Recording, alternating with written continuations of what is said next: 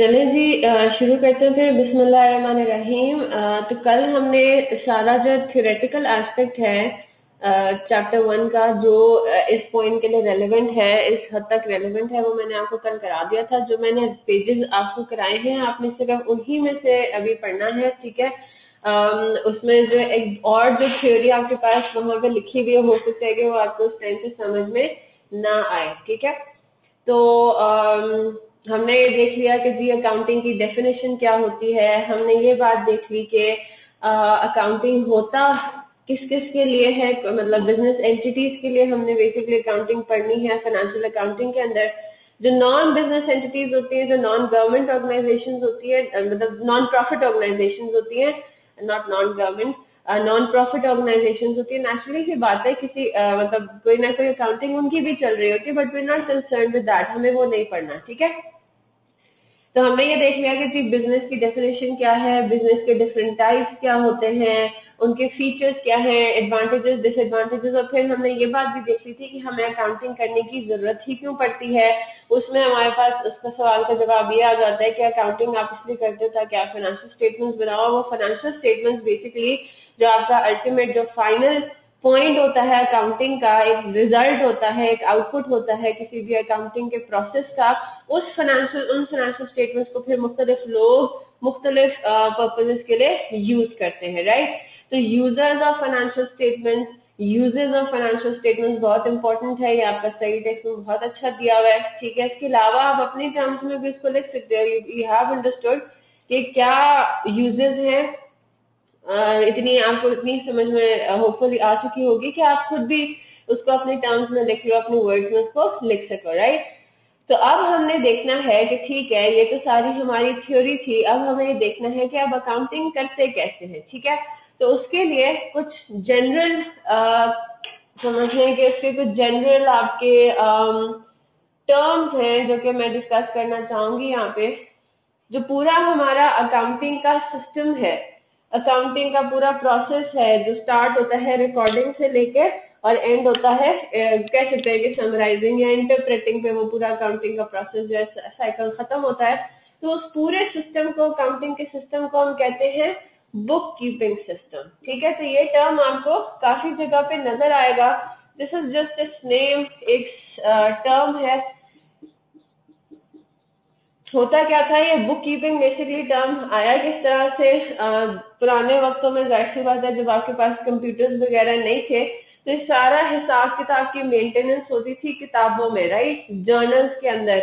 हाथ से लिखा जाता था, सारा मैनुअल होता था तो मेरे ख्याल से उससे फिर ये टर्म बुक कीपिंग का, कि किताबें रखना, हिसाब किताब को रखने को आप पूरा अकाउंटिंग कहते हो, ठीक है? अच्छा जी, अब इसको फर्दर पढ़ने से पहले हम जरा एक चीज़ देख लें। जब आपके पास आ, हमने आ, कल जो है वो एलिमेंट्स पढ़े the elements of financial statement ठीक है? अभी काफ़ी ऐसी चीज़ें हैं जो कि आपको हो सकता है थोड़ी घिचपिच हो जाए। अब बस अभी इस पॉइंट पे आपने इन चीज़ों को याद कर लेना है ठीक है? याद कर ले इस पॉइंट पे। इनशाला प्रैक्टिस से ये बातें खुद ब खुद ही आपको क्लियर होती जाएँगी समझ आती रहेंगी राइट सारी चीज़ें इंटर रिलेटेड हैं तो मैं एक एक करके चीज़ों को जरा आपके सामने रख रही हूँ। कल हमने मुख्तलिफ़ एलिमेंट्स पढ़े थे, जिसमें आपके पास क्या कौन कौन से थे? एसेट्स लाइबिलिटीज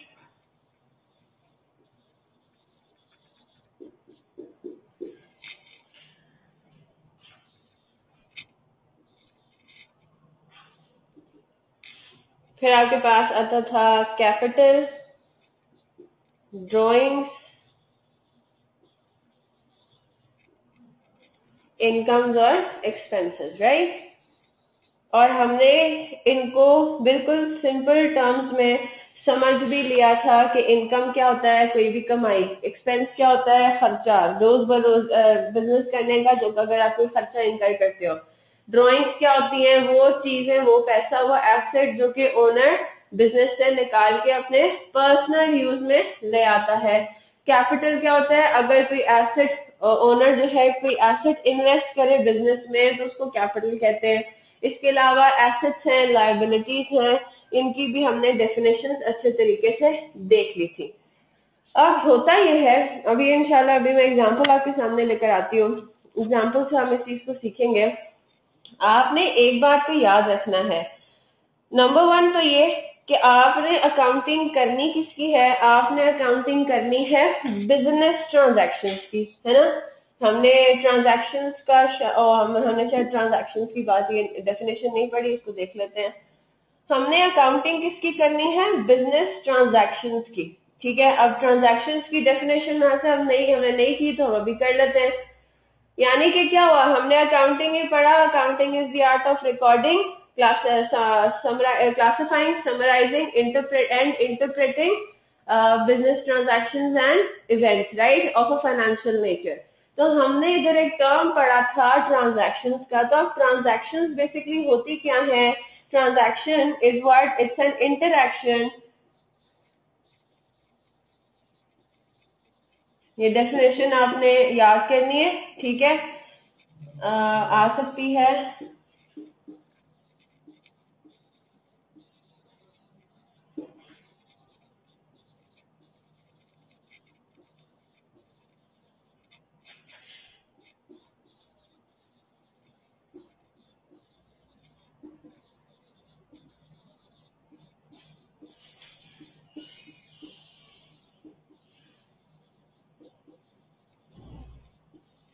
ठीक है? तो हमने ये देखा कि इंटर बिज़नेस ट्रांजैक्शन की डेफिनेशन क्या है? Business transaction is an interaction between the business and any other party और हम क्या कहते हैं? हम बिज़नेस एंटिटी कॉन्सेप्ट में क्या कहते हैं? कि बिज़नेस एक अलग पार्टी है और ओनर जो है वो दूसरी पार्टी है right they are both separate उन दोनों का स्टेटस जो है वो अलग अलग है right they are separate entities right तो अब अगर आपका इंटरेक्शन होता है बिज़नेस के बीच में और इवन ओनर के बीच में तो वो क्या कहलाएगी? बिज़नेस ट्रांजैक्शन क्यों? क्योंकि उसमें हम बिज़नेस को और ओनर को अलग अलग देख रहे होते हैं राइट इसी इसी तरह अगर कोई सप्लायर गुड्स को सप्लाई करता है सॉरी बिज़नेस को कोई गुड्स सप्लाई करता है तो बिज़नेस बीच में आ गया सप्लायर सप्लायर आ गया तो ये भी आपका बिज़नेस ट्रांजैक्शन कहलाता है। ओनर से क्या मुराद? यानी कि ओनर का ट्रांजैक्शन क्या हो सकती है? कैपिटल इन्वेस्टमेंट कि ओनर ने अगर फर्दर कैपिटल कोई डाला बिज़नेस में, अगर ओनर ने कोई ड्रॉइंग की तो अगर ओनर कोई काम कर रहा है और उसमें बिज़नेस के साथ उसकी इन्वॉल्वमेंट कोई आ गई, कोई इंटरेक्शन आ गई तो वो पूरी की पूरी ट्रांजैक्शन वो पूरा का पूरा क्या इवेंट वो क्या कहलाएगा? बिज़नेस ट्रांजैक्शन ठीक है? इसके अलावा आपके पास जो बिज़नेस ट्रांजैक्शन में पार्टीज़ आती है कस्टमर्स हो सकते हैं बिज़नेस ने एम्प्लॉज को पेमेंट करनी होती है सैलरी की तो वो सैलरी की पेमेंट वो सैलरी जो है, वो भी आपकी क्या होगी बिज़नेस ट्रांजैक्शन गवर्नमेंट को वो पे करेगा क्या? टैक्सेस तो टैक्सेस की पेमेंट बिज़नेस अगर कोई टैक्सेस वगैरह पे कर रहा है तो वो क्या होगा? वो भी बिज़नेस ट्रांजैक्शन कहलाएगा. ठीक है? I hope that much is clear अब ये बेसिकली हमें पढ़ने की ज़रूरत क्यों पड़ती है? क्योंकि हम ये कहते हैं कि आपका फॉर एग्ज़ाम्पल एक ओनर है, ठीक है, आपका ओनर है। फॉर एग्ज़ाम्पल मिस्टर ए है सोल ट्रेडर है ये। अब मिस्टर ए ने दो माइक्रोवेव खरीदे, ठीक है। पहला उसने माइक्रोवेव खरीदा है अपने पर्सनल यूज़ के लिए। ठीक है, अपने पर्सनल यूज़ के लिए उसने कोई माइक्रोवेव खरीदा और दूसरा उसने जो माइक्रोवेव खरीदा है, वो खरीदा है ऑफिशियल यूज़ के लिए बिज़नेस के लिए ऑफ़िस में रखने के लिए। ठीक है? तो ये आपका, ये दो सिचुएशन होगी। आपने फॉर एग्जांपल पहली जनवरी को इस ओनर ने ये ट्रांजैक्शन इंकर की है। इन इंटरक्शन में वो उसने इंकर किए गए ओनर है मिस्टर ए उसने माइक्रोवेव दो खरीदे एक पर्सनल यूज़ के लिए और एक बिज़नेस यूज़ के लिए। अब हमें ये देखना है कि हमें अकाउंटिंग के पॉइंट ऑफ़ व्यू से बिज़नेस की अकाउंटिंग के पॉइंट ऑफ़ व्यू से कौन सी ट्रांजैक्शन को देखना है? फॉर एग्ज़ाम्पल ये भी पचास हज़ार बीस हज़ार रुपए का बीस हज़ार कर देते हैं और ये भी आपका ट्वेंटी थाउज़ेंड रुपीज़ है। तो अब अकाउंटिंग के पॉइंट ऑफ़ व्यू से बिज़नेस की हमने कौन से अभी देखे, दोनों इंटरेक्शन है ना? इसमें क्या हो रहा है? इसमें ओनर अपने पर्सनल यूज़ के लिए एक सप्लायर से माइक्रोवेव के सप्लायर से माइक्रोवेव खरीद रहे हैं। तो सप्लायर होगी एक पार्टी ठीक है? इस ट्रांजैक्शन के अंदर दूसरी पार्टी कौन है? दूसरी पार्टी बिज़नेस नहीं है। दूसरी पार्टी कौन है? ओनर मिस्टर ए खुद राइट तो ये वाली ट्रांजैक्शन हो गई between the owner and the supplier right और दूसरी पार्टी में, दूसरी ट्रांजैक्शन में पार्टीज़ कौन कौन सी है? एक तो आपका वही हो गया जिससे आप माइक्रोवेव खरीद रहे हो, यानी कि एक तो आपका हो गया सप्लायर और दूसरा आपके पास क्या हो गया? बिज़नेस आ गया राइट अब ऑब्वियसली बात है बिज़नेस कोई इंसान तो नहीं है ना, वो खुद से तो जाके नहीं खरीद सकता तो खरीदना तो मिस्टर ए नहीं है। वो जो एक्शन है, वो तो मिस्टर ए ने ही लेना है। उन्होंने जाके मिस्टर सप्लायर से खरीदना है कि जी मुझे माइक्रोवेव चाहिए। लेकिन अब हम ये देख लेंगे कि माइक्रोवेव का पर्पस क्या है। मिस्टर ए ने वो माइक्रोवेव खरीदा क्यों है? तो अब हम इसमें कहेंगे कि अब इसमें जो दोनों पार्टीज़ इन्वॉल्व है, वो कौन सी है? बिज़नेस एंड सप्लायर तो for the point of view of accounting हम कहेंगे कि हमारा जो पॉइंट हमारा जो इंटरेस्ट का हमारा जो इंटरेस्ट है ना वो सिर्फ़ इस ट्रांजैक्शन में हमने अब इस फिगर को लेके हमने इस ट्रांजैक्शन को लेके अब अकाउंटिंग करनी है। आई होप दैट्स क्लियर हम इसको इग्नोर कर देंगे बिज़नेस के अकाउंटिंग के पॉइंट ऑफ़ व्यू से। तो बस बात इस, इस, इस बात का ख्याल रखना है कि एक पार्टी बिज़नेस ज़रूर बीच में इन्वॉल्व होना चाहिए। फिर उसके अलावा चाहे कोई भी अदर पार्टी हो। ठीक है जी? अच्छा। ठीक है जी मोहसिन आवाज़ आ रही है आपको? यस मैम आ रही है आवाज़। आपने कहाँ से ज्वाइन किया था? ये बिज़नेस ट्रांजैक्शन स्टार्ट कर लिया? आ, कर लिया था मैंने जब आपने ज्वाइन किया? यस मैम यस मैम ठीक है ठीक है चलें कल से ज्वाइन किया है ना मैंने? नहीं नहीं कल से तो ज्वाइन किया लेकिन अभी इस क्लास में कब से आपने ज्वाइन किया? चले ठीक है ट्रांजैक्शन क्योंकि पहले आप ऑफलाइन हो गए थे ना? मैं इसलिए पूछ रही हूँ, ठीक है? तो बात क्लियर हो गई आपको ट्रांजैक्शंस के अंदर बिज़नेस ट्रांजैक्शंस के अंदर अकाउंटिंग के लिए हमने सिर्फ़ और सिर्फ़ उन ट्रांजैक्शंस को पिक करना है जो कि बिज़नेस ट्रांजैक्शन है, ठीक है? अच्छा जी, हमने ये भी देख लिया कि भाई हमने अकाउंटिंग के लिए क्या क्या चीज़ें हमने पिक करनी है। अब हम आ जाते हैं अपनी किसी एग्ज़ाम्पल पर। अब मैं आपको ये बताती हूँ। एक यहाँ पे मैं रूल लिख रही हूँ। ये अभी इतनी बात शायद आपको समझ में ना आए, जो लोग पहली दफ़ा इंट्रो पढ़ रहे ठीक है?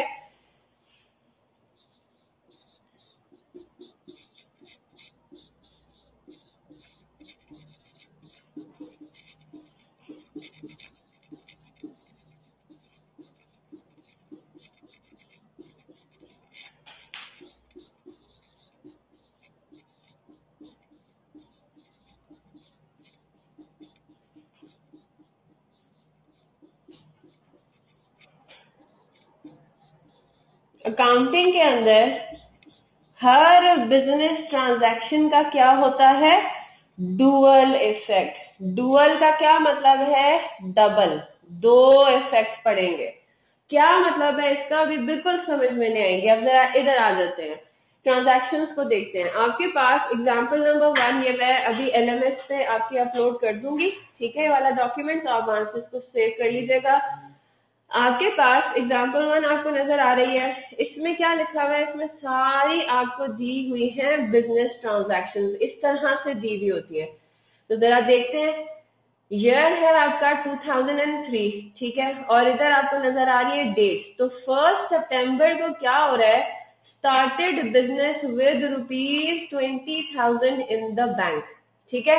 ये क्या हो गई? बिज़नेस की ट्रांजैक्शन होगी बिज़नेस ट्रांजैक्शन होगी राइट अगर कहीं पे स्पेसिफिकली लिखा हुआ है ना पर्सनल का टर्म इस्तेमाल किया हुआ है ओनर ने अपने यूज़ के लिए कुछ किया तो वो हम कहेंगे कि वो बिज़नेस ट्रांजैक्शन नहीं है। उसके अलावा बाकी सारी जितनी बीवी होगी, हम कहेंगे कि ये बिज़नेस की ही ट्रांजेक्शन है, इनकी हमने अकाउंटिंग करनी है इज़ क्लियर तो ये कंफ्यूज ना हो कि भाई यहाँ पे कहीं पे लिखा हुआ नहीं है कि these are the business transaction तो हम कैसे कह सकते हैं? तो हम इसीलिए कहेंगे कि जैसे मतलब हम अकाउंटिंग कर रहे हैं तो हमें जो क्वेश्चन में दिया हुआ होगा, वो बिज़नेस से रिलेटेड आइटम्स ही होंगे अनलेस वहाँ पे इसमें इस तरह की कोई वर्डिंग लिखी हुई हो कि ओनर ने ये ट्रांजैक्शन इनकर की अपने पर्सनल यूज़ के लिए, अपनी पर्सनल मतलब पर्सनल लैंग्वेज में उसने रहते हुए कि नॉट फॉर बिज़नेस यूज़ या वट एवर क्लियर है बात? तो सबसे पहले आपके पास आता है started business with rupees twenty thousand in the bank ठीक है? हमने ये ट्रांजैक्शन देखी। अब जरा वापस ऊपर आते हैं। कल जो हमने एलिमेंट्स किए the elements of financial statements इनको एक और नाम से भी जाना जाता है अकाउंटिंग के पॉइंट ऑफ़ व्यू से। थैंक यू ठीक है? एक और नाम से भी जाना जाता है, वो है हेड्स ऑफ़ अकाउंट अब हम इनको हेड्स ऑफ़ अकाउंट्स के तौर पे जरा पढ़ेंगे ठीक है? हेड्स ऑफ़ अकाउंट वैसे तो आ, मैंने आपको बताया था कल कि कैपिटल और ड्राइंग भी बाद में जाके इक्विटी में मैं इक्विटी का टर्म आपको समझाऊँगी तो कैपिटल और ड्राइंग शायद हम लोग बिल्कुल ओमेटी कर दें या इंशाल्लाह क्लियर हो जाएगी बात ठीक है? तो वैसे आपको बुक्स के अंदर हो सकता है छह हेड ऑफ़ अकाउंट नज़र आ रहे हो पाँच लिखा हुआ कहीं पे लेकिन इसमें कोई टेंशन वाली बात नहीं है राइट मैं इसको इस तरह से अलग अलग करके पढ़ाती हूँ क्योंकि मुझे इस तरह से ज़्यादा आसान लगता है राइट अच्छा जी तो आपके पास ये क्या है? ये सारे एलिमेंट्स हैं जिनको मैंने कहा कि हम अब एक नया नाम इसको पढ़ते हैं, इसका हेड ऑफ़ अकाउंट ठीक है? अब करना क्या होता है? हर ट्रांजैक्शन में आपको देखना होता है कि कौन कौन से एलिमेंट कौन कौन से हेड्स ऑफ़ अकाउंट्स इन्वॉल्व हो रहे हैं, ठीक है? तो हम इसको देखते हैं। Started business with rupees twenty thousand in the bank तो ये तो फिगर गिवन है, ये तो अमाउंट गिवन है। आइटम्स कौन कौन से इन्वॉल्व हो रहे हैं? एक आपको यहाँ नज़र आ रहा है बैंक राइट क्या मतलब है इसका? उर्दू में अगर बात करें तो ओनर ने started business with rupees twenty thousand in the bank ठीक है? यानी कि क्या किया? ओनर ने बिज़नेस शुरू किया, उसने बिज़नेस में बीस हज़ार रुपए लगाए राइट और कैसे लगाए? बैंक अकाउंट में बिज़नेस के नाम पे पैसे डिपॉजिट करा दिए। ठीक है? क्लियर है बात? तो ये उर्दू में हमने कर लिया कि ओनर ने बिज़नेस शुरू किया ओनर ने ज़ाहिर सी बात है पैसे से बिज़नेस शुरू किया होगा, वो पैसा कहाँ पे पड़ा? उसने रख दिया, उसने बैंक में लाके रख दिया। ठीक है? तो हमारे पास यहाँ पे हमें नज़र आ रहा है ये बिज़नेस का बैंक अकाउंट बैंक अकाउंट क्या है आपका? एसेट है. बिज़नेस का एक एसेट है. बिज़नेस का एक असासा है. जिस तरह हम लोग के पर्सनल बैंक अकाउंट जो होते हैं, वो हम कहते हैं कि हमारा असासा है राइट हम उनके ऊपर टैक्स भी पे करते हैं. हम काइंड ऑफ़ लाइक प्रॉपर्टी हमारी चीज़ है वो. हमारी ओनरशिप में ऐसी चीज़ है जो कि हमें फ्यूचर में बेनिफिट प्रोवाइड करेगी. कैसे? कि उस पैसे को हम लोग खर्च करेंगे. हम बेनिफिट उठाएँगे उसका. ठीक है? लाइक वाइज बिज़नेस का बैंक अकाउंट भी क्या है? उसके लिए एक एसेट है ठीक है? एक रिसोर्स है वो उस पैसे को इस्तेमाल करके आ, माल खरीदेगा बिज़नेस और फिर उसको बेचेगा और फिर प्रॉफिट कमाएगा राइट तो एक चीज़ तो हमने ये देख ली कि यहाँ पे आपके पास एक जो आइटम इन्वॉल्व हो रहा है वो कौन सा हो रहा है बैंक जो कि क्या है आपका? कौन सा एलिमेंट है? कौन सा हेड ऑफ़ अकाउंट में आता है एसेट में? क्लियर अपनी बात? दूसरा स्टार्टेड बिज़नेस जैसे ही ये टर्म आपको नज़र आ जाए, या कहिए क्या है ओनर ने पैसा लगाया ओनर ने बिज़नेस शुरू किया, कैसे? बीस हज़ार रुपए पैसा लगा के बिज़नेस में स्टार्ट किया ट्वेंटी थाउज़ेंड से। तो जहाँ पे भी ऐसी टर्म इस्तेमाल हो जाए, जहाँ पे हमें ये समझ में आए कि ओनर ने बिज़नेस में पैसा लगाया तो हम उसको क्या कहते हैं? हम उसको कहते हैं कैपिटल राइट क्लियर है बात मोहसिन ठीक है? तो ये चीज़ हमने देख ली कि आपकी ट्रांजैक्शन में, एक ट्रांजैक्शन में दो हमें मतलब नज़र आ रहे हैं। ओनर ने बिज़नेस में पैसा लगाया, वो हमने पढ़ा हुआ क्या होता है? कैपिटल होता है राइट और हमें एक बैंक भी नज़र आ रहा है कि बिज़नेस का बैंक अकाउंट खुला इसका मतलब है हमने खोला राइट तो वो क्या हो गया? वो आपका एसेट हो गया। तो ये तो एक ही ट्रांजैक्शन में दो मतलब निकलते हैं। तो that is the point accounting में यही होता है। अकाउंटिंग में एक ट्रांजैक्शन में आपको मिनिमम मिनिमम भी दो आइटम्स नज़र आएँगे। दो मतलब आपको नज़र आएँगे। ठीक है? उसको कहते हैं dual aspect of accounting dual effect of transaction ठीक है? अब आपने देखना है कि अब आपने ये चीज़ तो आइडेंटिफाई कर ली। अब इसकी अकाउंटिंग कैसे करते हैं, उसके लिए जरा पहले एक ही आपको चार्ट कॉपी करना पड़ेगा, ठीक है? अब हम कुछ नई टर्म्स पढ़ने जा रहे हैं डेबिट और क्रेडिट ये आपका चार्ट है। ये पहले नोट कर ले, फिर मैं इसको इंशाल्लाह समझाऊँगी इस ट्रांजैक्शन को यूज़ करते हुए। अच्छा जी। कोई भी एसेट हो, जिस तरह बैंक अकाउंट हो गया, जिस तरह प्रॉपर्टी हो गई, जिस तरह बिल्डिंग हो गई बिज़नेस की सारी चीज़ें। कोई भी एसेट अगर आपके पास बिज़नेस के पास इंक्रीज करता है, यानी कि पहले से ज़्यादा आपके पास हो जाता है तो उसको हम कहते हैं डेबिट करना। कि वो एसेट क्या हो गया? वो एसेट हो गया डेबिट और अगर वो एसेट जैसे फॉर एग्जांपल मैं अगर आपको ये कहूँ कि मैंने कैश को यूज़ करके ऑफ़िस मशीनरी खरीदी तो क्या हुआ? मेरे पास कैश पड़ा हुआ था बिज़नेस बिज़नेस के पास मेरे से मुराद बिज़नेस ठीक है? डोंट गेट कंफ्यूज बिज़नेस के पास कैश पड़ा हुआ था और बिज़नेस ने क्या किया? उस कैश को मतलब इस्तेमाल कर दिया। तो कैश आपके पास क्या हो गया? कम हो गया ना? तो अगर कोई आपका एसेट डिक्रीज होता है तो हम उसको कहते हैं क्रेडिट करना। ठीक है? तो ये जो दोनों टर्म्स हैं डेबिट और क्रेडिट ये टर्म्स हैं, इनका कोई मतलब नहीं है। ठीक है? तो आपके पास एसेट्स के केस में क्या होता है कि अगर एसेट्स इंक्रीज करते हैं बाद में इंशाल्लाह क्लियर हो जाएगी कि एसेट्स के इंक्रीज करने से क्या मुराद है डिक्रीज करने से क्या मुराद है आप पहले सिर्फ़ नोट कर लें। Liabilities on the other hand जब इंक्रीज करती हैं तो हम कहते हैं कि हमने लाइबिलिटी को क्रेडिट करना है क्रेडिट कर दिया।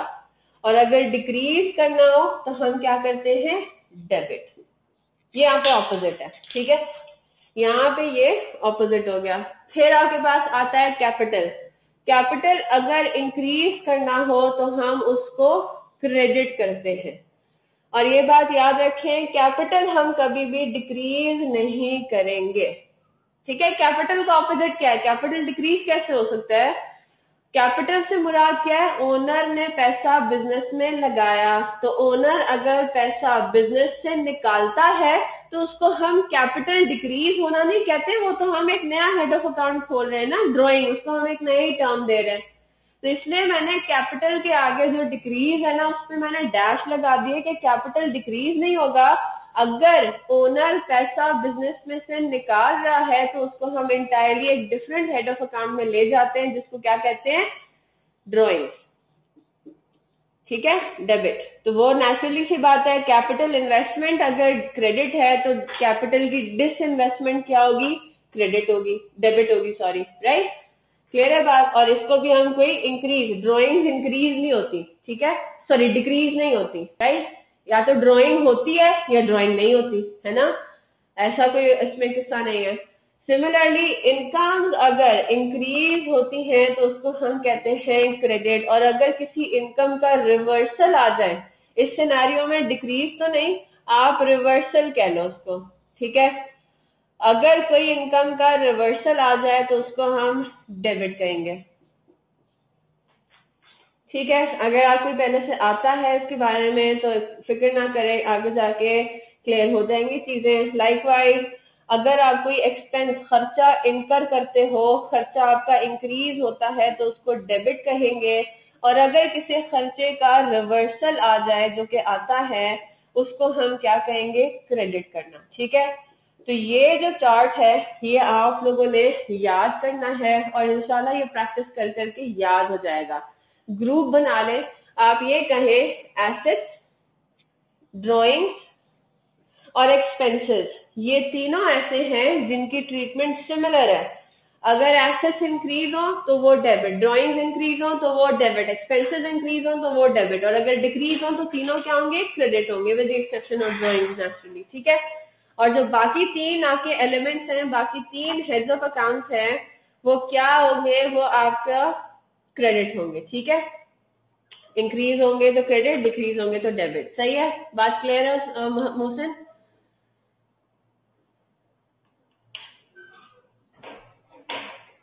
मैम जी। मैम ये कैपिटल डिक्रीज होगा तो ये क्या आएगा यहाँ पे?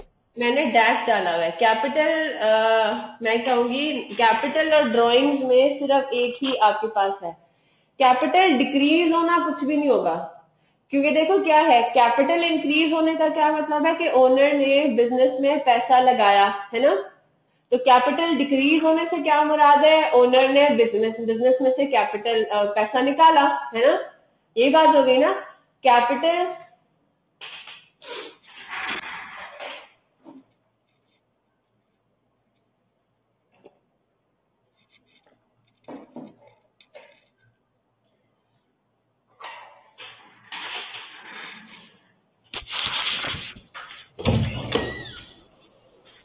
कनेक्शन का मसला आ गया।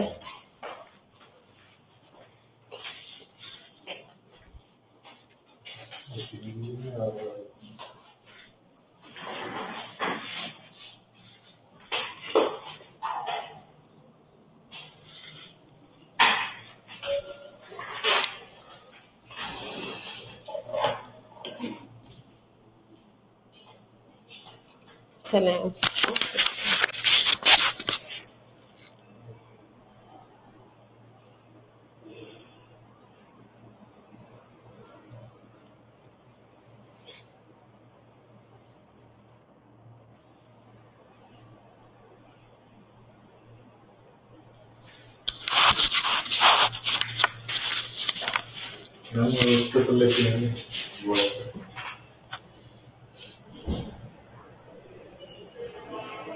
नहीं हो गया। जी मोहसिन आवाज़ आ रही है आपको?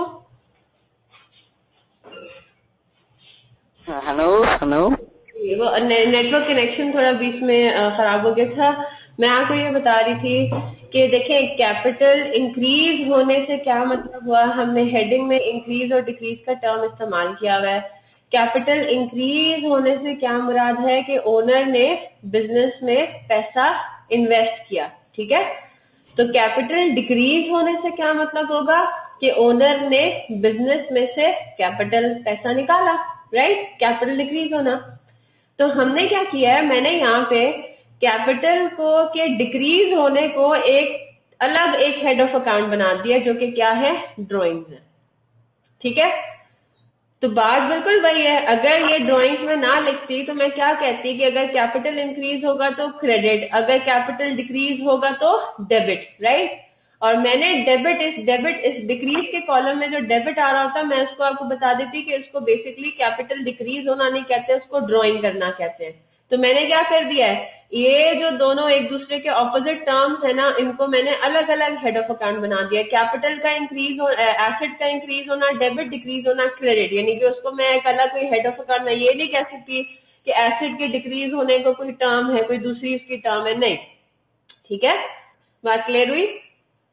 सिर्फ़ कैपिटल और ड्राइंग्स के केस में ही होगा। है ये दोनों बिल्कुल वही है। कैपिटल का इंक्रीज होना क्रेडिट डिक्रीज होना डेबिट लेकिन उस डिक्रीज होने को मैंने कह दिया कि उसको हम ड्राइंग कहते हैं।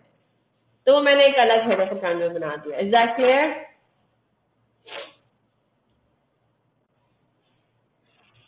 क्लियर हुई बात मोहसिन?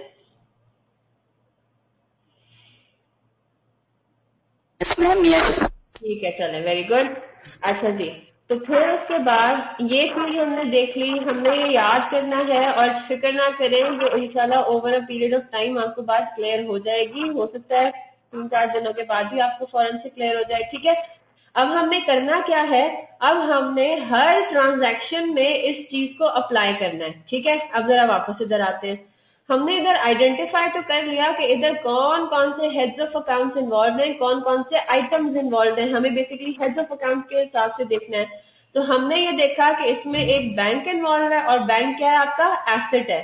और स्टार्टेड बिज़नेस यानी कि ओनर ने पैसा इन्वेस्ट किया, यानी कि कैपिटल राइट अब हमें ये देखना है कि अब डेबिट और क्रेडिट की टर्म्स में हमने जवाब देना है। हमारे पास आज की डेट से पहले सितंबर वन से पहले कोई कैपिटल नहीं था, क्योंकि बिज़नेस ही नहीं था राइट आपके पास कितना कैपिटल था पहले? ज़ीरो कैपिटल था। तो सितंबर फ़र्स्ट को जब ओनर ने कैपिटल इन्वेस्ट किया बिज़नेस शुरू किया बीस हज़ार से तो अब कैपिटल आप कितना कहोगे कि अब वो ज़ीरो से हो गया इंक्रीज ट्वेंटी थाउज़ेंड पर आ गया। तो अगर आप सितंबर वन के आखिर पे जाते हो, आप ओनर से पूछते हो कि भाई आपका कैपिटल कितना है, आपके बिज़नेस का? तो वो कहेगा कि जी, बीस हज़ार रुपए राइट और अगर आप सितंबर वन से एक दिन पहले जाते हैं तो वो कहता है कि कौन सा कैपिटल मेरा तो कोई बिज़नेस ही नहीं है, यानी कि ज़ीरो कैपिटल है राइट तो अब इसका मतलब ये हुआ कि मेरा कैपिटल क्या हो रहा है? इंक्रीज हो रहा है। तो अब आप इधर आए। कैपिटल इंक्रीज हो रहा है तो हम क्या कहेंगे कि कैपिटल शुड बी क्रेडिटेड ठीक है? Capital is to be credited बस ये पहले टर्म इसको अप्लाई करते हैं, फिर हम इंशाल्लाह इसको सॉल्व करेंगे। तो हमने ये चीज़ यहाँ पे लिख ली कि यहाँ पे कैपिटल आपका होगा क्रेडिट क्योंकि वो इंक्रीज हो रहा है। ठीक है जी? ये काम हो गया। फिर हम आते हैं एसेट पे। एसेट के हिसाब में क्या हो रहा है? एसेट के केस में क्या हो रहा है? आपके पास सितंबर वन से पहले, इस ट्रांजैक्शन को इंकर करने से पहले एंटर इनटू करने से पहले, अगर मैं आपकी अगस्त थर्टी फ़र्स्ट की बात करूँ तो बिज़नेस के नाम पे जो बैंक अकाउंट था, पहली चीज़ कोई बैंक अकाउंट हो सकता है ना ही। हो ठीक है? क्योंकि बिज़नेस ही आज शुरू हुआ है। तो इसका क्या मतलब है? मैं ये कहूँगी कि बिज़नेस का कोई बैंक अकाउंट ही नहीं था। बैंक में बैलेंस कितना था? इसका मतलब है ज़ीरो हम ट्रीट करेंगे उसको। और सितंबर वन पे जो ट्रांजैक्शन इनकर हो रही है, इसमें क्या हो रहा है कि ओनर बीस हज़ार रुपए डिपॉजिट करा रहा है बैंक में बिज़नेस के नाम के बैंक अकाउंट में। तो क्या हो रहा है? बैंक का बैलेंस ज़ीरो से इंक्रीज हो रहा है ट्वेंटी थाउज़ेंड पर राइट अब हम वापस इधर आते हैं।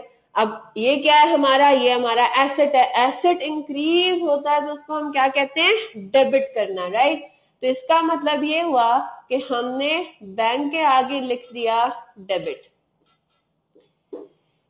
ये आपका होता है डुअल नेचर ऑफ़ अकाउंटिंग क्या मतलब हुआ?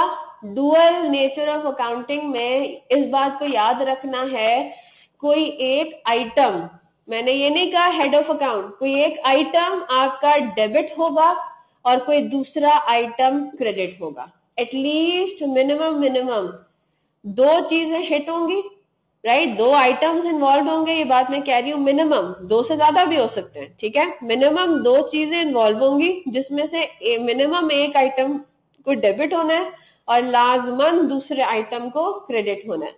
अब चले, ठीक है, ये तो हमारे पास इस ट्रांजैक्शन में दो डिफरेंट हेड्स ऑफ़ अकाउंट थे, एक एसेट था, एक कैपिटल था। अब आप जरा सितंबर सेकंड पर आ जाए।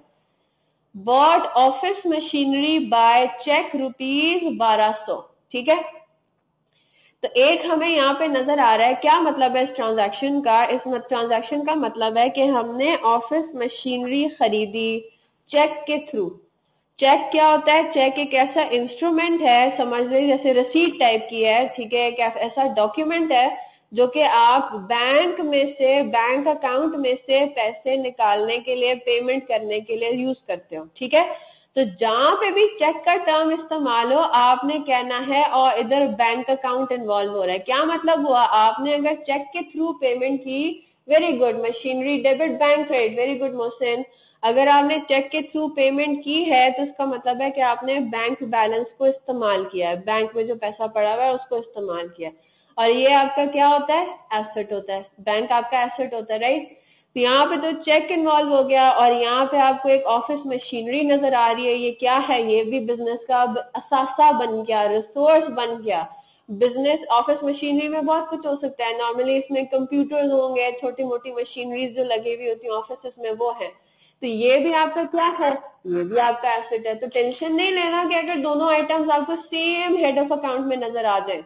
मैं आपको क्या कह रही हूँ? हेड्स ऑफ़ अकाउंट सेम भी हो सकते हैं बस आइटम्स दो होने चाहिए ठीक है? इफ़ेक्ट दो होना चाहिए। अब क्या होगा? ऑफ़िस मशीनरी आपके पास आ रही है। ए, ए, ये एक ऐसा एसेट है जो कि आपका इंक्रीज कर रहा है। पहले आपके बिज़नेस में कोई ऑफ़िस मशीनरी नहीं थी। तो अगर एसेट इंक्रीज करता है तो हम क्या कहते हैं उसको? डेबिट करना। तो हम क्या कहेंगे? इस सिनेरियो में हम कहेंगे, कि जो आपकी ऑफ़िस मशीनरी है, वो क्या हो रही है? वो डेबिट हो रही है। अच्छा जी, फिर आप जब देखते हो आपने पेमेंट किया है बैंक बैलेंस को यूज़ करते हुए तो अब आपके पास पहले कितने पैसे पड़े हुए थे? एक दिन पहले बीस हज़ार रुपए आपके पास बैंक में पड़े हुए थे। और अब आपने क्या किया? उनमें से बारह सौ रुपए की पेमेंट कर दी। यानी कि अब कितना बैलेंस हो गया? आपके पास कम हो गया राइट बारह सौ से आपका कम हो गया। और बैंक आपका क्या है? एसेट है। तो अगर एसेट डिक्रीज करता है तो क्या होगा? क्रेडिट होगा। तो हम क्या कहेंगे? इधर जो दूसरा इफ़ेक्ट है, वो क्या हो रहा है कि आपका बैंक हो रहा है क्रेडिट होगी बात? ठीक है? तो इसको हम इसी तरह से करते हैं। ये तो हमने क्या कर देखे अभी तक हम अकाउंटिंग पे नहीं आए। मैंने अभी क्या किया, ये तो सिंपल नोट्स नोट्स टाइप के हैं कि मैं दिमाग में अपने नोटिंग कर रही हूँ, एक छोटी सी वर्किंग बना रही हूँ कि अच्छा जी, ये डेबिट होगा, या क्रेडिट होगा। अब इसको असल में हम प्रेजेंट कैसे करते हैं? अकाउंटिंग की टर्म्स में किस तरह से उसको फिर लिखेंगे, वो ये है। अकाउंटिंग करने का इसका ये हो जाएगा। अच्छा जी, देखें, हम लोग अभी कौन से स्टेप पर हैं? हम ये पहले स्टेप पर हैं, जो कि हमारा क्या था? रिकॉर्डिंग हमने ये ट्रांजैक्शन इनकर की, ये तो सवाल है ना। सवाल में तो उन्होंने इसी तरह से लिखा हुआ हमें देना है। लेकिन जब आप बिज़नेस कर रहे होते तो ये ट्रांजैक्शन लिखी हुई तो नहीं होती ना, ये तो आप करते हो राइट आपने ऑफ़िस मशीन जाके खरीद ली, बस वो हवा में है, आपने खरीदा है। एक्टिविटी एक एक्शन है, ठीक है? तो सवाल में चीज़ें लिखी हुई हैं। तो इसका क्या मतलब है? अब अकाउंटिंग के लिए पहला स्टेप क्या होगा? कि अब आपने क्या करना है? जो वो एक्शन किया है, आपने बिज़नेस में बिज़नेस के बैंक अकाउंट में पैसा डाला उसकी अब आपने क्या करनी है? रिकॉर्डिंग करनी है। आप तो सिंपल सुबह उठे और आप सितंबर वन की सुबह उठे और आपने क्या किया? बीस हज़ार रुपए से जाके बैंक बिज़नेस के नाम का बैंक अकाउंट खोल दिया राइट ये एक एक्टिविटी हो गई। अब आप जब ऑफ़िस में आए अपने, आपने इस एक्टिविटी को करना है रिकॉर्ड और रिकॉर्ड किस तरह से करते हैं? पूरा एक स्टेटमेंट बनता है, एक फॉर्मेट है उसका प्रॉपर हम बनाएँगे जनरल जर्नल और इसका फॉर्मेट कुछ यू है। उसके पास एक रजिस्टर होगा, या अगर वो कंप्यूटर इस्तेमाल करता है तो उसके सामने एक फ़ाइल खुली हुई होगी, जिसका फॉर्मेट कुछ यू होगा। हेडिंग्स होंगी उसमें, ठीक है? और वो हेडिंग्स कुछ ये हैं।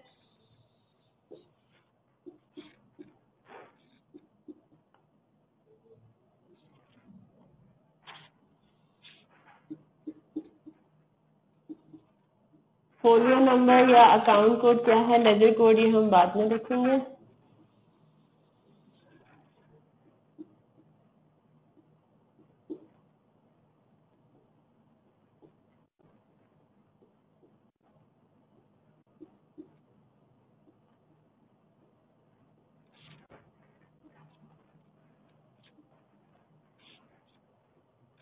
ये आपका फॉर्मेट है जनरल जर्नल का।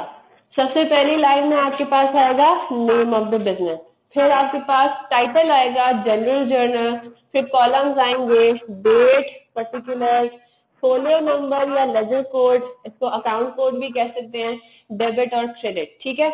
ये आपने हेडिंग बना ली। अब हम इस सवाल पे उसको अप्लाई करते हैं। सबसे पहले तो हमें बिज़नेस का नाम पता होना चाहिए। अब आप जरा नीचे आए।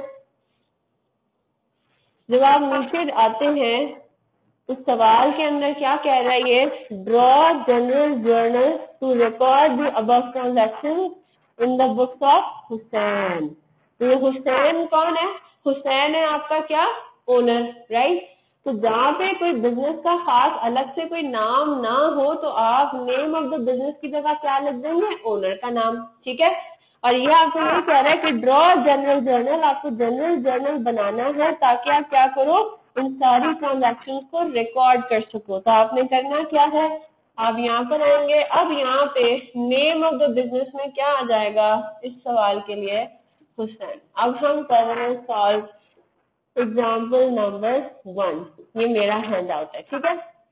ये आपको कहता क्वेश्चन मैम नहीं this is my own handout अब आपने क्या करना है? एक एक करके हर ट्रांजैक्शन की अब आपने रिकॉर्डिंग करनी है। तो पहली ट्रांजैक्शन पर आ जाते हैं। तो पहली ट्रांजैक्शन आपकी क्या थी? आपने देख लिया सितंबर वन को बिज़नेस शुरू किया। आपने देखा कि भाई दो आइटम्स इन्वॉल्व हो रहे हैं अकाउंटिंग की टर्म्स में, जिनको एसेट और कैपिटल कहते हैं, और उनका इफ़ेक्ट क्या है? अकाउंटिंग की टर्म्स में डेबिट एक आइटम डेबिट हो रहा है, दूसरा आइटम क्रेडिट हो रहा है। अब आपने करना क्या है? इसको लिखते कुछ इस तरह से रिकॉर्डिंग अब इसकी किस तरह से करेंगे? डेट के कॉलम में आप काम ये करें डेट के नीचे साल लिख दें ताकि आप वो 2003 आपको हर डेट के आगे रिपीट ना करना पड़े, ठीक है? ये भी हेडिंग का पार्ट बना दें। अच्छा फिर पहली ट्रांजैक्शन हो रही है फ़र्स्ट सितंबर को। डेट में वो लिख दें। अब आप आए। सबसे पहले आपने किस चीज़ को लिखना है, उस आइटम को लिखना है जो कि डेबिट हो रहा है। This is the standard rule है ये। तो इस ट्रांजैक्शन में क्या डेबिट हो रहा है? हमने देखा इस ट्रांजैक्शन में बैंक डेबिट हो रहा है, ठीक है? अब देखें बैंक क्या है? बैंक तो एसेट है। आपने एसेट नहीं लिखना। आपने टर्म एसेट नहीं इस्तेमाल करना। आपने एसेट का खास तौर पे बताना है कि कौन सा एसेट क्योंकि एसेट बहुत मुख्तलिफ़ किस्मों के होते हैं।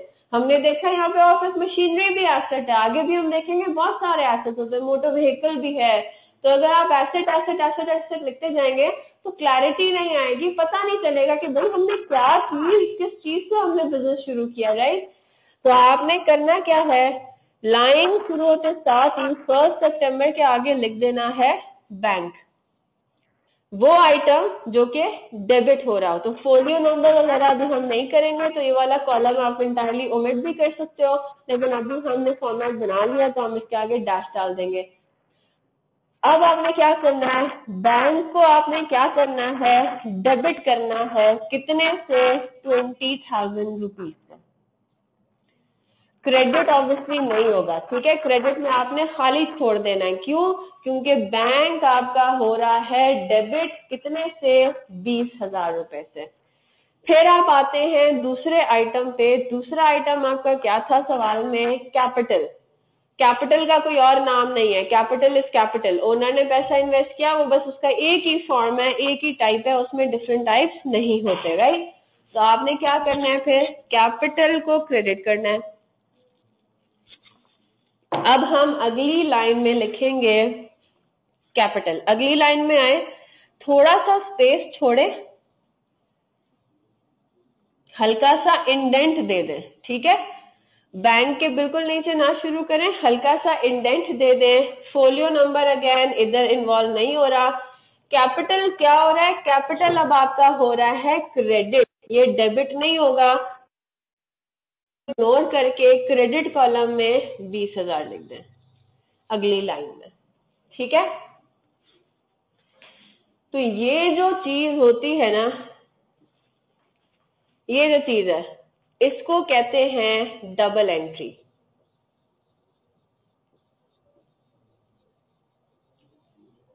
और ये है अकाउंटिंग के अंदर presentation of the dual aspect of accounting dual effect of every transaction तो आपने क्या कर दिया? दो चीज़ें देखें, दो चीज़ें हिट हो रही हैं, दो अलग अलग लाइनों में, ये आपकी कहलाती है डबल एंट्री जिसमें से एक आएगा डेबिट कॉलम में, दूसरा आएगा क्रेडिट कॉलम में, दोनों कॉलम्स को एक ही लाइन में फिल नहीं करना, ठीक है? अच्छा अब होता क्या है? जनरल जर्नल के फॉर्मेट का हिस्सा है एक और चीज़, आपने अब तीसरी लाइन में आ जाना है, और ब्रैकेट्स में हल्की सी, बिल्कुल छोटी सी, बहुत concise C can the amount of one account be different from other account इस स्टेप पे no motion you have to make sure कि डेबिट और क्रेडिट हमेशा एक दूसरे के इक्वल हो। ठीक है? अब आगे जाके मैं थोड़ा सा आपको uh, वो बता देती हूँ। मैंने आपको ये कहा कि दो से ज़्यादा आइटम्स भी हो सकते हैं ना? है ना? मैंने आपको बात बोली है ना? मिनिमम मिनिमम दो होंगे। एक डेबिट एक क्रेडिट हो सकता है दो से ज़्यादा भी हो। तो कोई तीसरा इफ़ेक्ट तो है ही नहीं। तो यार, इसका क्या मतलब हुआ कि अगर तीन आइटम्स हैं, हो सकता है उनमें से दो जा रहे हो डेबिट कॉलम में, एक जा रहा हो क्रेडिट कॉलम में। तो ये बात याद रखनी है, जितने भी इस ट्रांजैक्शन में डेबिट्स होंगे, जितने भी मिनिमम एक होगा, लेकिन उससे ज़्यादा भी हो सकते हैं। तो एक ट्रांजैक्शन में जितने भी डेबिट्स होंगे और एक ट्रांजैक्शन में जितने भी क्रेडिट्स होंगे, इन दोनों का टोटल इक्वल करना चाहिए मैच करना चाहिए। तो यहाँ पे क्या हो रहा है? यहाँ पे एक ही डेबिट है, एक ही क्रेडिट है और दोनों की फिगर मैच कर रही है। इसमें टोटल का कोई हिसाब ही नहीं है क्योंकि आइटम्स ही एक ही है। क्लियर होगी बात? तो डेबिट कॉलम का टोटल इसमें कितना आ रहा है इस ट्रांजैक्शन में? बीस हज़ार। क्रेडिट कॉलम का टोटल कितना आ रहा है इस ट्रांजैक्शन में? Twenty thousand both are equal अब आपने करना क्या है? तीसरी लाइन में जाके छोटी सी डिस्क्रिप्शन दे देनी है इस पूरी ट्रांजेक्शन की। सिंपल इंग्लिश को इस्तेमाल करके। और वो वर्ड्स आपने पिक करने हैं ट्रांजैक्शन क्वेश्चन में से, जो ट्रांजैक्शन में इंग्लिश गिवन है। क्या लिखा हुआ है? Started business with rupees twenty thousand in the bank आप एक छोटा सा लिख दें।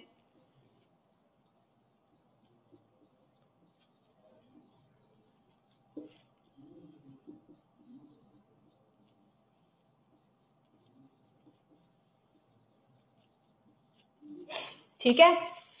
Started business with cash in bank figure दोबारा लिखने की ज़रूरत नहीं है फिगर आपको ऊपर नज़र आ रही है। तो ये इसका, इसको कहते क्या है? इसको हम कहते हैं नरेशन नरेशन नैरेटिव कुछ भी हो सकता है। तो ये क्या है? ये अगर कोई अकाउंटिंग का बैकग्राउंड अगर किसी का नहीं है और वो अगर इस जनरल जर्नल को देख रहा है, उसने तो उसको तो नहीं पता ना क्या हुआ था। मैं तो ओनर थी, मैं तो करके चली गई। मेरा ही काम था सिर्फ़ सिर्फ़ मैंने, मुझे, मैंने किसी को बताया नहीं। लेकिन मैंने क्या काम किया? मैंने जनरल जर्नल में रिकॉर्डिंग कर ली। अब फॉर एग्ज़ाम्पल अगर मेरा एम्प्लॉई इस जनरल जर्नल को देखता है तो उसको इस ट्रांजेक्शन को पढ़ के, देख के, नीचे नरेशन पढ़ के कुछ कुछ समझ में आ जाएगी कि अच्छा ये इन्होंने एक ट्रांजैक्शन रिकॉर्ड किया है। ये ओनर ने क्या किया था? बिज़नेस का बैंक अकाउंट खोला था और कैपिट बेसिकली इसने बिज़नेस शुरू किया था with cash and bank clear हो गई बात? ठीक है? तो ये ये मैं जो एक्सप्लेनेशन है, ये मैं हटा रही हूँ। और ये जो आपके पास तीन चीज़ें आ रही हैं, तीन, चार, पाँच चीज़ें आ रही हैं, ये आपकी एक डबल एंट्री को पूरा कंप्राइज करती है। ठीक है? डबल एंट्री वैसे सिर्फ़ यही पोर्शन है, सिर्फ़, ठीक है? नरेशन उसका पार्ट नहीं है। ये नरेशन इसलिए क्योंकि आपने जनरल जर्नल बनाना है तो जनरल जर्नल का पार्ट है नरेशन जनरल जर्नल में हमेशा आपने नरेशन लिखनी है। क्लियर होगी बात मोहसिन अब हम आगे आते हैं। अगली ट्रांजैक्शन कौन सी डेट पे हो रही है? अगली ट्रांजैक्शन हो रही है सितंबर सेकेंड को, ठीक है? Bought office machinery by cheque और इसमें हमने ये चीज़ डिटर्मिन कर ली कि कौन सी चीज़ डेबिट और कौन सी चीज़ क्रेडिट राइट इसमें अब हम किस तरह से करेंगे? डेट डालेंगे एक लाइन छोड़ के, अब अगली ट्रांजैक्शन आ गई, ठीक है? यहाँ पे आपने एक लाइन छोड़ दी और अगली ट्रांजैक्शन आ गई। जैसे ही डेट चेंज होगी तो हमारा ऑटोमेटिकली हमें पता लग जाएगा कि अभी दूसरी ट्रांजैक्शन की बात कर रहे हैं। तो सेकेंड सितंबर को क्या हो रहा है? Bought office machinery by cheque debit क्या हो रहा है इंक्रीज क्या हो रहा है ऑफ़िस मशीनरी आपका इंक्रीज हो रहा है ठीक है? ज़रूरी नहीं है कि डेबिट का मतलब इंक्रीज ही हो। ये बात याद रखिएगा। हमने ये देखा है, हमने ये देखा है, कुछ हेड्स ऑफ़ अकाउंट ऐसे हैं जिसमें इंक्रीज होना क्रेडिट भी होता है, ठीक है? तो आपके पास ज़रूरी नहीं है डेबिट का मतलब इंक्रीज होना और क्रेडिट का मतलब डिक्रीज होना, ठीक है? तो आपने क्या करना है? ऑफ़िस मशीनरी आपका इंक्रीज हो रहा है। कितने से? डेबिट हो रहा है 1200 से ठीक है? और क्रेडिट क्या हो रहा है? चेक बैंक बैंक आपका डिक्रीज हो रहा है, यानी कि वो क्रेडिट हो रहा है। ठीक है? आपने अगली लाइन में बैंक पे गए और 1200 लिख दिया। और क्या करना है? तीसरी लाइन में नरेशन लिखनी है। और वो नरेशन क्या होगी?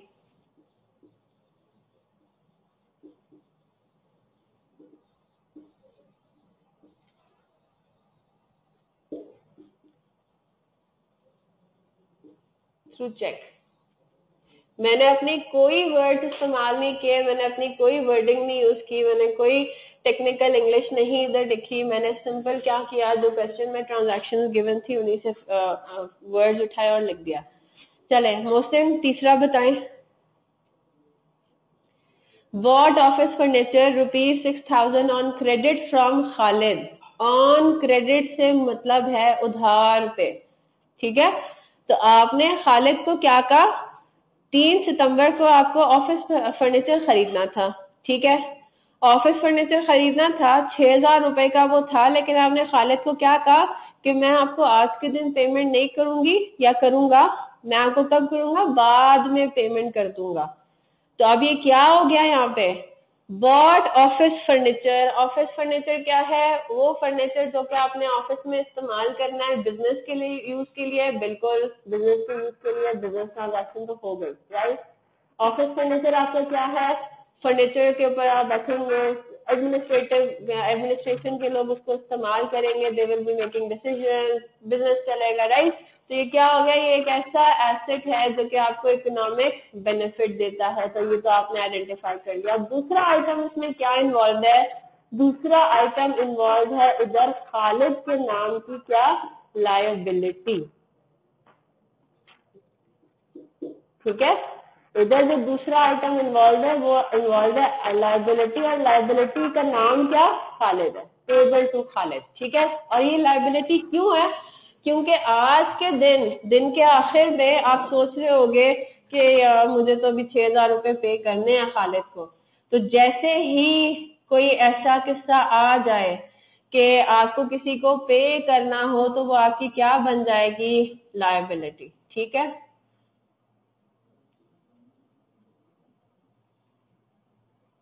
ठीक है? क्लियर होगी बात?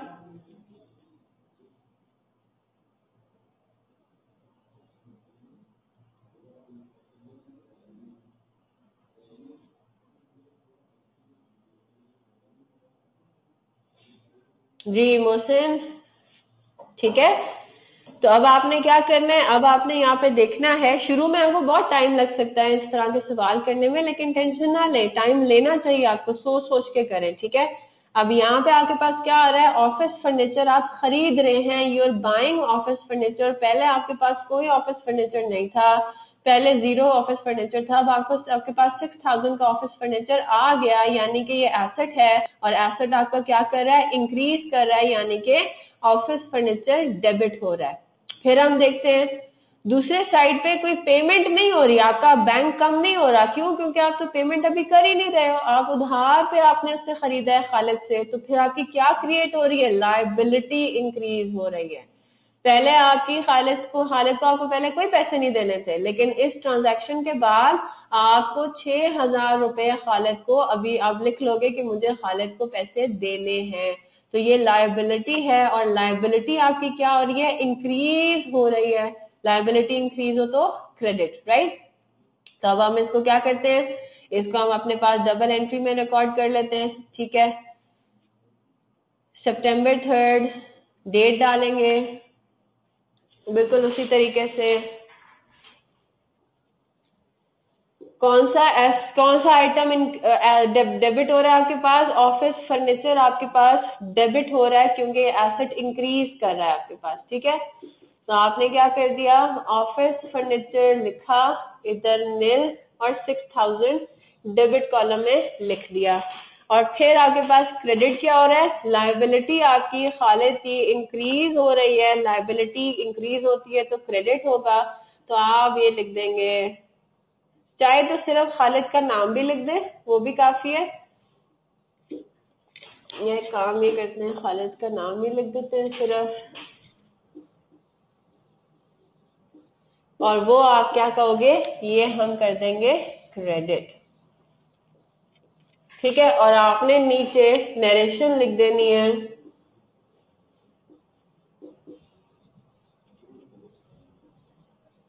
ऑफ़िस थ्रू चेक नहीं आएगा यहाँ पे। क्या लिख देंगे? ऑन क्रेडिट ये भी लिखने की ज़रूरत नहीं है कि खालिद से खरीदा। बस ऑन क्रेडिट किससे खरीदा? ऊपर नाम लिखा हुआ है, उससे देख लो। ठीक है? अमाउंट कितनी थी? वो उधर से देख लो। क्लियर हो गई बात? जी मोहसिन क्लियर है?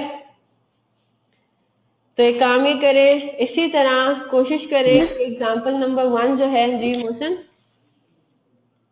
क्वेश्चन है आपका कोई?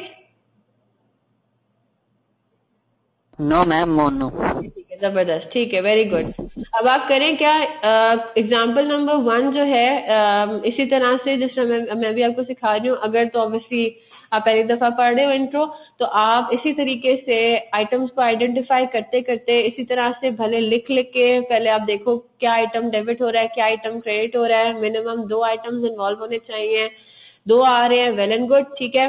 और डेबिट या क्रेडिट का रूल आपको किस तरह से पता चलेगा? आपने पहले आइटम्स तो देख लिए कि ऑफ़िस फर्नीचर है और यहाँ पे क्या है? खालिद है राइट तो ऑफ़िस फर्नीचर क्या है? अब ये इंक्रीज हो रहा है। अब इंक्रीज के केस में डेबिट करना है क्रेडिट करना है, वो किस, वो रूल कहाँ से आपको पता लगेगा कि आपको देखना पड़ेगा कि हेड ऑफ़ अकाउंट कौन सा है।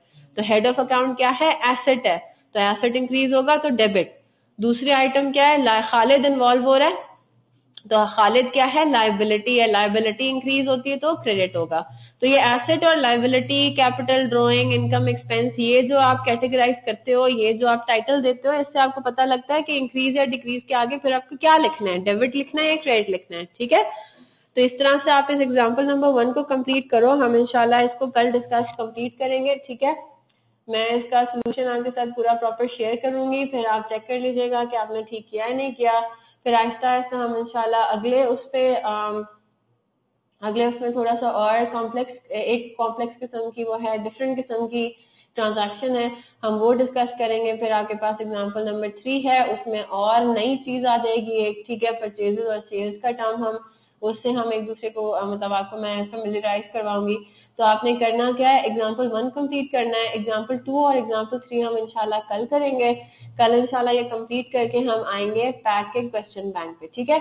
तो जिनके पास पैक का क्वेश्चन बैंक नहीं है वो फ़िक्र ना करें मैं आपको इनशाला वो क्वेश्चन जो हैं वो सॉफ्टवेयर प्रोवाइड करती रहूँगी ठीक है?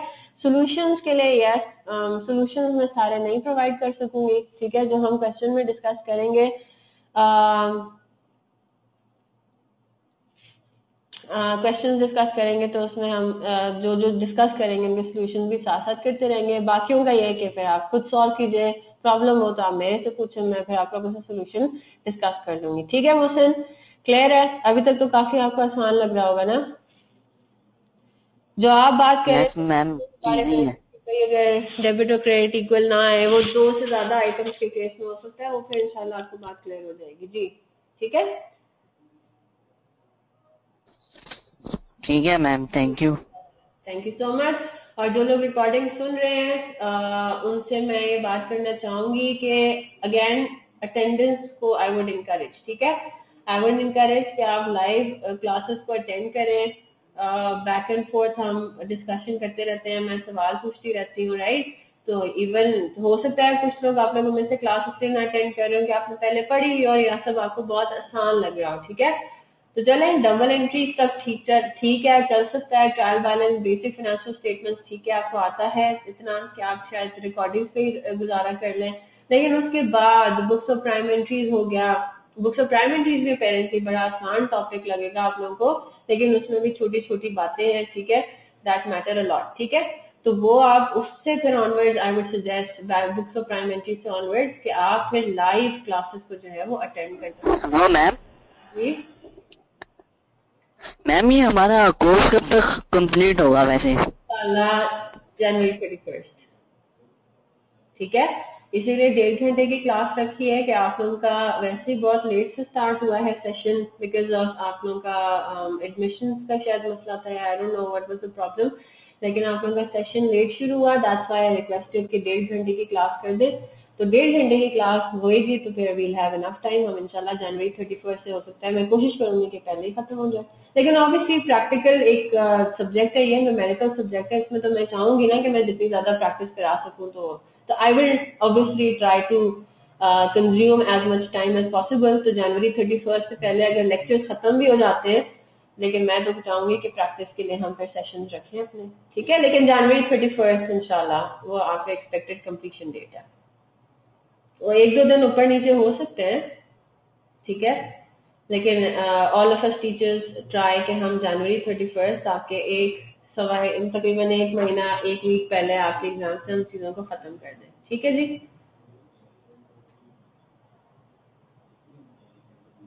चले। अगर कोई क्वेश्चन नहीं है तो इजाज़त दें एग्ज़ाम्पल नंबर वन कर लीजिएगा। मोहसिन, अगर आपको आता है, आप एग्ज़ाम्पल टू को भी देख लें, ठीक है? और फिर हम इंशाल्लाह एग्ज़ाम्पल वन टू और थ्री ये तीनों कंप्लीट करेंगे कल। आ, मैं टाइप करके आप लोगों को शो मतलब आंसर आपके सामने डिस्प्ले करूँगी तो वो आसान हो जाएगा। वो हम सिर्फ़ डिस्कशन कर रहे होंगे इसमें टाइम इतना नहीं लगता। तो मेरे हाथ से मैंने लिख के आपको बता तो दिया है कि किस तरीके से हम डबल एंट्रीज को लिखते हैं। और ये रेड और ब्लैक का इसको जरा इग्नोर कर दें क्योंकि बोर्ड पे मुझे कलर नहीं पता लग रहे। आज थोड़े कलर्स के साथ इशू हो रहा है। मैं लैपटॉप में देख रही हूँ तो मुझे नज़र आ रहा है कि मैंने डिफरेंट कलर्स के साथ वो लिख दिया हुआ है। तो दिस इज़ बेसिकली सारा आंसर का पार्ट है, ठीक है? दिस इज़ नॉट अलग कोई चीज़ नहीं है। तो आपको इस तरह से लिखना होता है अपने रजिस्टर में, अपने पेपर के ऊपर। ठीक है जी? चले, इंशाल्लाह कल मिलते हैं। हैव अ नाइस डे अल्लाह हाफिज।